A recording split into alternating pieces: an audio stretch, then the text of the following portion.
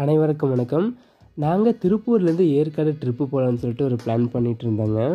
அப்போது வந்து நாங்கள் ஒரு ரெண்டு மூணு ட்ராவல்ஸ் வந்து விசாரித்தோம் நாங்கள் விசாரித்த வரையில் திருப்பூர் காங்கி ரோட்டில் இருக்கிற சந்தனதுரை அந்த ட்ராவல்ஸில் பார்த்திங்கன்னா ரேட்டு வந்து கம்மியாக இருந்துச்சு.